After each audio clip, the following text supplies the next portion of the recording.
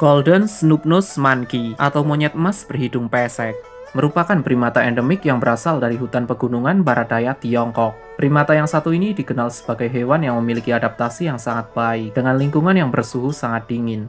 Mirip seperti mamalia pada umumnya, Golden Snoop Monkey hidup secara berkelompok. Mereka akan mencari makanan dan berinteraksi satu sama lain. Dan tak jarang terjadi serangan dari kelompok lain demi memperebutkan sejumlah makanan.